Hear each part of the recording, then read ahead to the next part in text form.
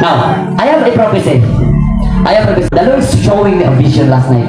This is a prophesying for this end times revelation.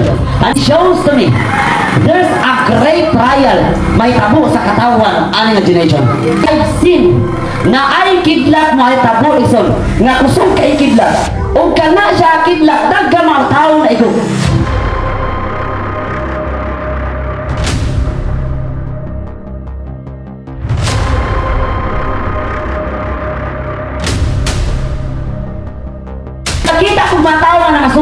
kalayo.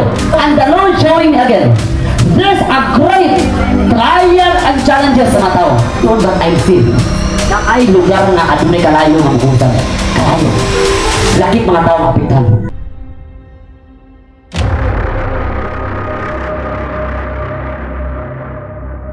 And firefighters in Algeria have managed to bring a series of forest fires under control, but not before they killed at least 38 people. This scorched bus that 12 people suffered their terrifying last moments.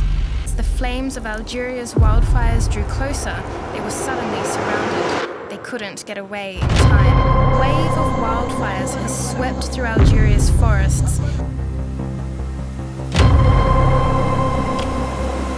Ang mga tao nakakita ko nga na ikadugo. Ay kalayo. Maigo ang mga tao na mga tao maigo. Despite this, many Algerians feel that lessons from that disaster were not learned. Last akong vision. Ipakita ko sa mga tao sa mga nagtawag sa ngalan sa Ginoo. Kung ipakita di ba ni Lord sa versikulo Human 10 verse 13. Whoever call the name of the Lord will be saved. Sa bisag kinsa mo tawag sa ngalan sa Ginoo. Marlo!